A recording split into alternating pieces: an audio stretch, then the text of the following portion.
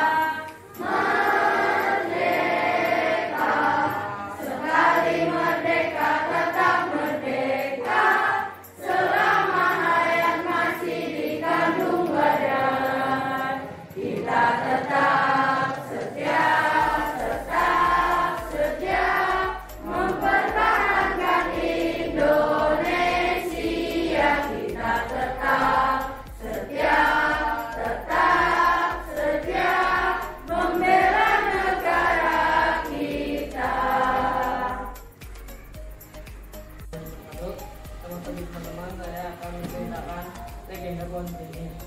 Dia adalah salah satu kerajaan di Pulau Jawa yang amat besar, memerintahkan seorang raja yang amat gagah dan perkasa. Baginda raja mampu menaklukkan musuh-musuhnya di tangannya dengan tongkat dan pedang saja. Bahkan sering kali menggunakan keris saja. Konon 50 pelar, 50 peluru anak panah dapat ditangkapnya tangan-tangan. Negeri takutnya mengerikan. Wassalamualaikum warahmatullahi wabarakatuh.